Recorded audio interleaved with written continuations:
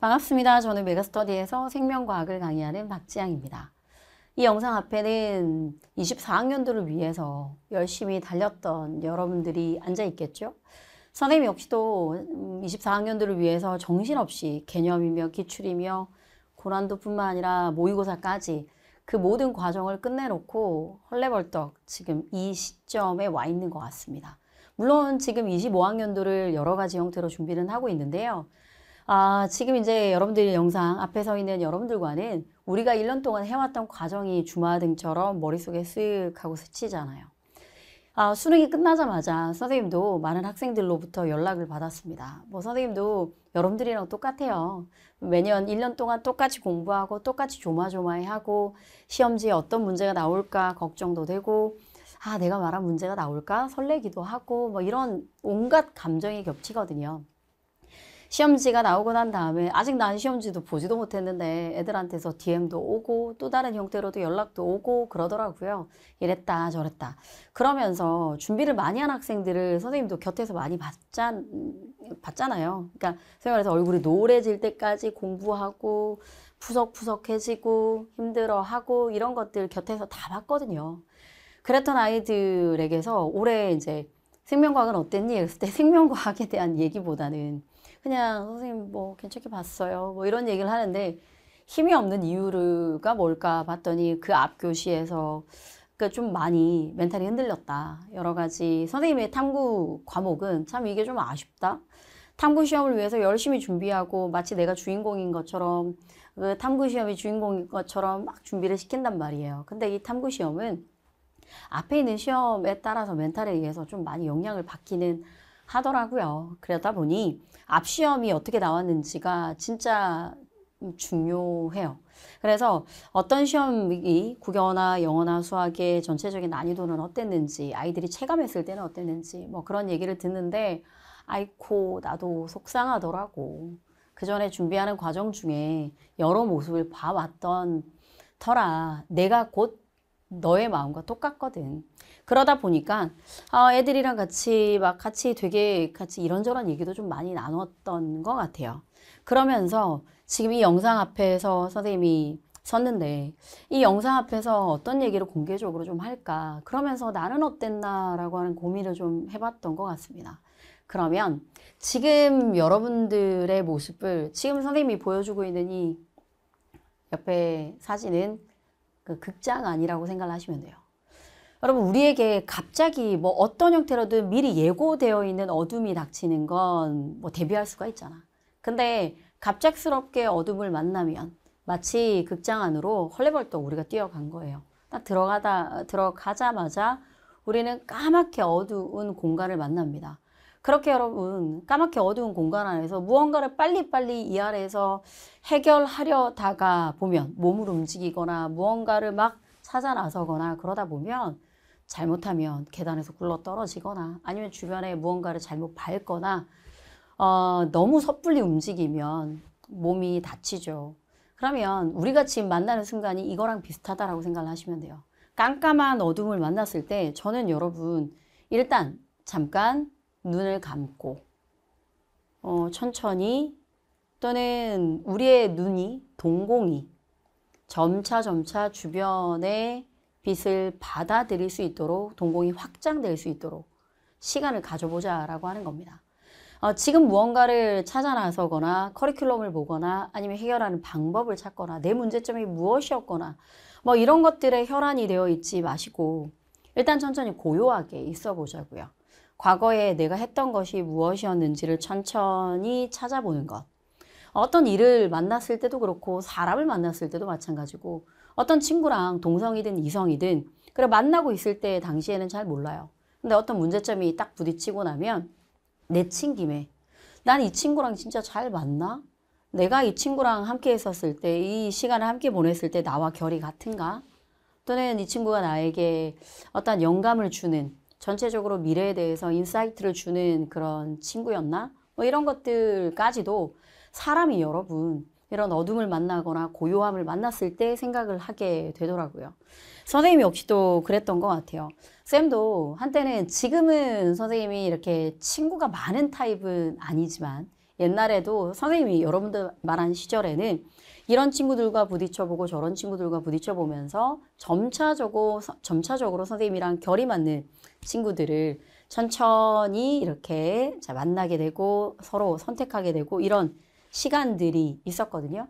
여러분들도 지금은 나의 인생의 결을 한번 생각을 해 보는 거예요. 어, 내가 그 전에 공부했던 나의 방식이 나의 결과 맞았나? 예를 들어 공부로 생각을 해보면 나는 진짜 오전에 잘 되는 타입인데 혹시 밤에만 몰입해서 공부한 건 아닌가? 또는 나는 알고 보면 공부하고 난 다음에 천천히 이렇게 다지는 이런 연습을 좋아했는데 또는 내 친구가 간다 그래서 같이 가보거나 이게 좋다 그래서 이걸 해봤던 거. 이렇게 나와 맞지 않은 옷을 입었던 건 아닌가? 이참에 생각을 해보는 거죠. 또 이렇게 우리의 문제점만 찾아내기에 혈안이 되어 있는 시간이었으면 하는 바람은 없어요. 여러분, 음, 선생님도 옛날에 그런 게 좀 있었거든. 맨날 모든 문제점을 나에게 찾는 거야, 나에게. 그러니까 뭐만 인간과의 관계에서도 아, 내가 뭘 잘못했지? 내가 무언가를 잘못한 게 있는가? 뭐 하는가? 그러면 그게 생각보다 나의 문제점을 계속 뭐 찾기 시작하다 보면 내 자존감도 좀 떨어지거든요. 그러니 기본적으로 그 전에 있었던 내가 걸어왔던 길에 대해서 천천히 생각을 해보되 이게 나의 문제점이라고 생각하지 마시고 나와 결이 맞는 것이 무엇인지를 한번 고민해 볼 수 있는 시간을 소중하게 가진다라고 생각을 하셨으면 좋겠습니다. 선생님이 그 옆에 있는 책들을 아, 이 꼭 이 책과 이 영화를 보라는 뜻은 아니에요. 어떤 내가 좋아하는 책과 내가 좋아하는 그 영화를 여러분들한테 그 마치 비유적으로 표현을 좀 해야 돼서 띄워놓은 건데요. 일단 선생님은 그 그런 타입이야. 선생님이 힘겨움이 생기잖아요. 어떤 힘겨움이 생기면 아, 나는 그런 건 좀 잘 안 되더라고. 사람에게, 우리 이런 말 있잖아. 힘듦은 서로 나누면 반이 된다. 절반이 된다. 이런 걸 그 공감하는 타입은 좀 아닙니다. 내가 힘겨움을 계속적으로 토로하다 보면 그 힘겨움이 서로 약간 전염되는, 전파되는 것 같아서 쌤이 힘들다라고 하는 걸 주변에다가 막 열심히 얘기하는 타입은 점차 아니더라고요. 그런데 나도 무언가는 해결은 해야 되는 거잖아.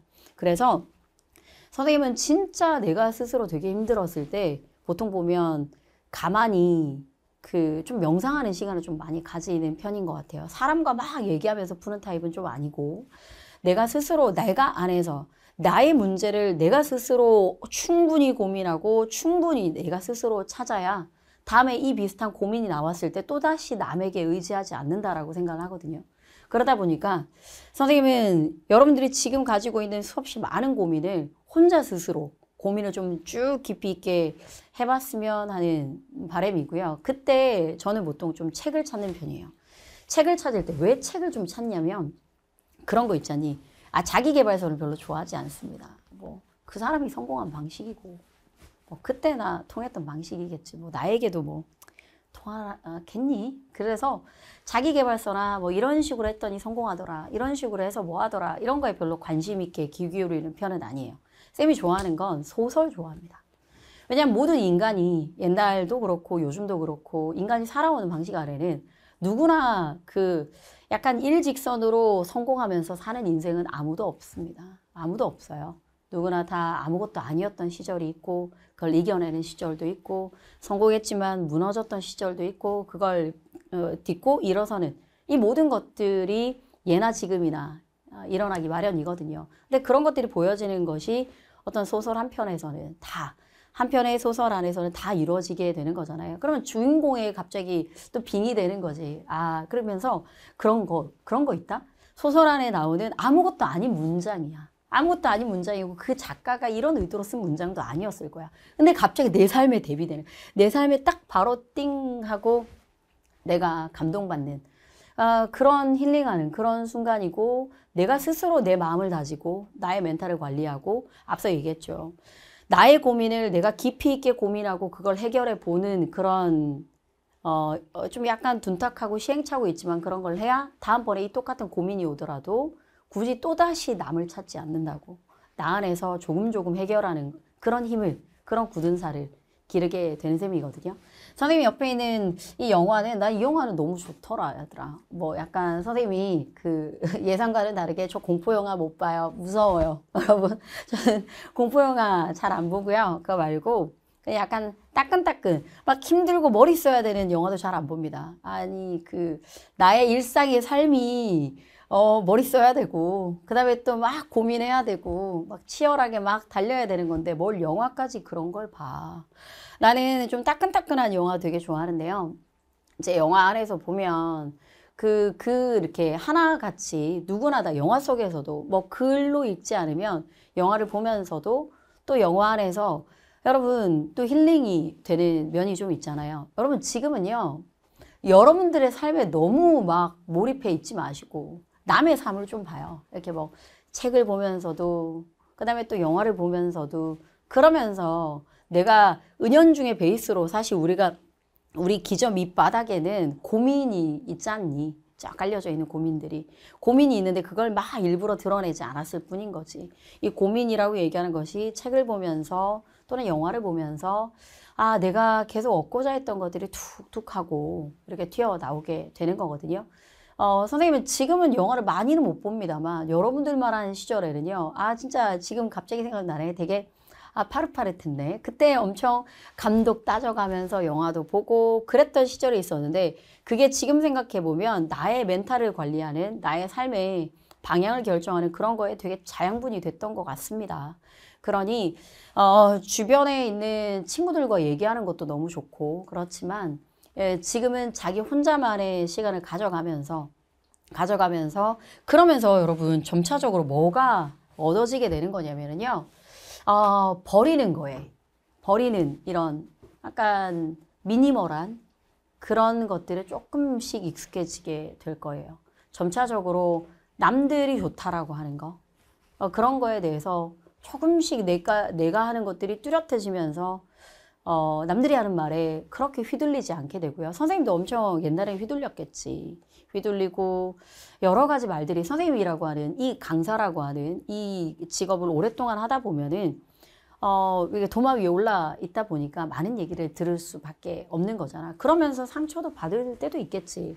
근데 어느 순간 선생님도 그런 생각을 하는 게 내가 내 진심으로 선생님은 이 직업이 저에게는 가장 진심이고 제일 잘하고 싶고 그 다음에 나에게는 가장 중요한 일이죠. 근데 어떤 학생들이 어찌 보면 수험생활이라고 얘기하는 1, 2년 아니면 2, 3년 자신의 인생에서 스쳐가면서 하는 그런 내뱉듯이 하는 그런 말에 내가 자 인생을 걸고 달라드는 내 일에 너무 구애받을 일인가? 내가 너무 고민해야 될 그런 말들인가? 어, 소위 비판적인 말들은 잘 받아들이지만 그냥 대놓고 비, 비난하는 말들도 있잖아요. 그런 것들 잘라내기 시작했거든요 그런 것들처럼 여러분 누구에게나 단단해지는 시기가 있고 그리고 나에게 맞는 군더더기가 싹 떨어져 나가야 되는 그런 인생의 시기가 있다라고 생각을 하시고 지금은 어, 이 영상을 보고 난 다음에 내가 바라는 건 조금은 나에 대한 스스로에 대한 자책을 좀 내려놨으면 좋겠고 또 두 번째는 어, 이거에 대해서 이제 다른 것들 이때까지 해보지 못했던 다양한 경험을 책으로 그리고 영화로 해보면서 어, 마음속에 천천히 굳은 살이 생겼으면 좋겠습니다. 그 굳은 살이 다 생기고 난 다음에 그러고 난 다음에 학습 계획을 짜고 그리고 인생에서 뚜렷한 목표를 향해서 세부적인 계획을 세워도 저 늦지 않다라고 봐요. 아, 뭐 이렇게 특별하게 엄청난 해결책을 전달해 드리면서 으악 뭐 이렇게 해주는 영상도 고민을 해봤었는데 어, 내가 정작 힘들고 고민됐을 때 하는 나만의 방식을 얘기하는 게 천천히 풀어서 얘기하는 게 오히려 더 뭐, 음, 뭐 맞지 않나 솔직하게 여러분들한테 전달하게 되지 않을까 라고 생각해서 이런 영상을 찍게 됐고요. 아, 선생님이 다음번에는 이제 이 영상을 토대로 이제 마음 정리가 좀 잘 되고 단단해지고 이랬다라고 하는 전제하에 이제 천천히 여러분들에게 맞는 그런 학습이나 아니면은 뭐 커리큘럼이나 그런 것들은 또 다시 한번 올려드리도록 하겠습니다. 아, 뭐 힘들거나 그러면 연락해. 알았지? 기다리고 있어. 너네 분명히 선생님이 현장에서 수업 들었던 애들, 인강으로 들었던 애들, 끝날 때 뭐 선생님 여 찾아올 거예요. 뭐 연락할 거예요. 연락해. 어, 기다리고 있다고. 알았지? 자, 여기까지 메가스터디에서 생명과학을 강의하고 있는 박지향이었습니다.